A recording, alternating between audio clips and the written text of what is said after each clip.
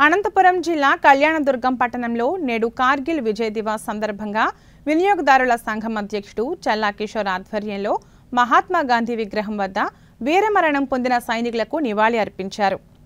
ఈ సందర్భంగా రాష్ట్ర ఉత్తమ సామాజిక సేవ అవార్డు గ్రహీత చల్లా కిషోర్ చౌదరి మాట్లాడుతూ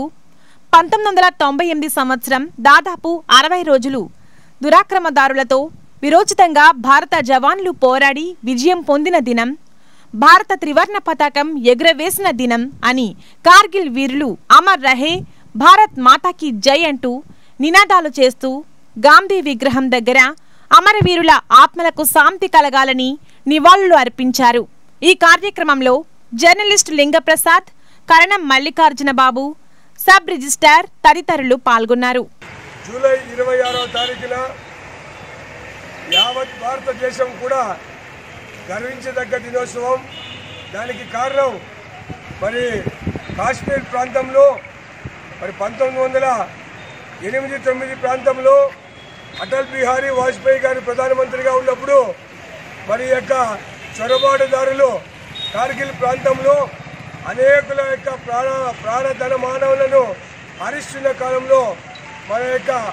మరి మిలిటరీ సిబ్బంది అంతా కూడా మరి అమరవీరులుగా తమ ప్రాణాలు సైతం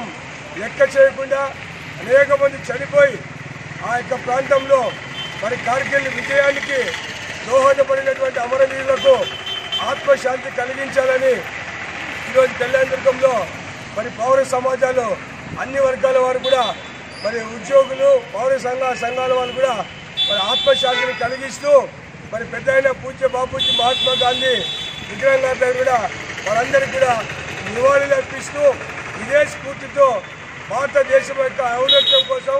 భారతదేశం ఐక్యత కోసం భారతదేశం ఖ్యాతిని ప్రపంచ నలుమూలాల్లో కూడా మన ఖ్యాతిని ఐక్యతని చాటడానికి ప్రతి భారతీయుడు కూడా ఇదే స్ఫూర్తితో ముందు కొనసాగాలని కూడా మరి అందరికీ కూడా పిలిపిస్తూ అమరవీరులకు ఆత్మశాంతి కలగాలని మరి ప్రార్థిస్తూ ఉన్నాం.